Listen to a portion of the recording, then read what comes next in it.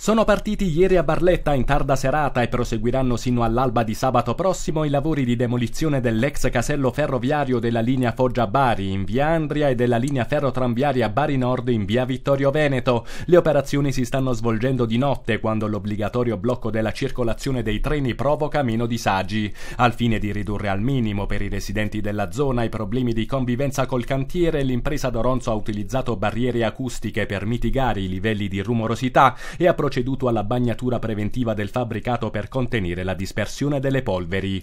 Una volta terminati i lavori di abbattimento dell'ex casello ed ultimate le opere di consolidamento del terreno tramite palificazione, si potrà procedere alle operazioni di scavo per la realizzazione vera e propria dei due sottovia carrabili e pedonali in via Andria e via Vittorio Veneto. Le nuove arterie sostituiranno i passaggi a livello soppressi oltre tre anni fa con l'apertura del cantiere.